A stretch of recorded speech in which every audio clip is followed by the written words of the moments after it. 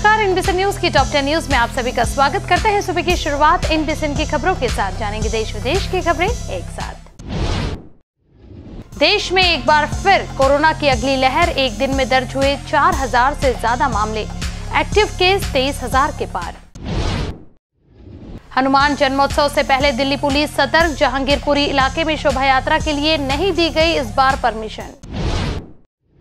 महाराष्ट्र के अहमदनगर में हुई दो गुटों के बीच हिंसक झड़प, हिरासत में लिए गए 19 लोग। पाकिस्तान के कराची में फ्री का राशन लेने में हुई भगदड़ 11 की मौत, कई घायल। रामनवमी पर बवाल के बाद हनुमान जयंती को लेकर बिहार और बंगाल में अलर्ट, कहीं इंटरनेट बंद तो कहीं धारा 144 लागू। मुलायम सिंह यादव को मिलेगा पद्म भूषण सम्मान। राष्ट्रपति द्रौपदी मुर्मू के हाथों ये सम्मान दिया जाएगा उनके बेटे को। चेन्नई में मर्डर केस, प्रेमिका ने ही उतारा एक्स बॉयफ्रेंड को मौत के घाट, टुकड़ों में काट कर दफनाया।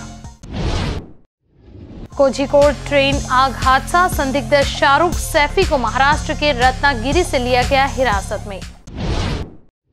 एसएससी पेपर लीक मामले में तेलंगाना बीजेपी अध्यक्ष बंदी संजय कुमार गिरफ़्तार।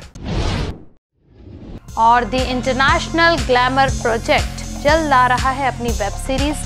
सीज़न वन में कई लोगों को मिलेगा ब्रेक।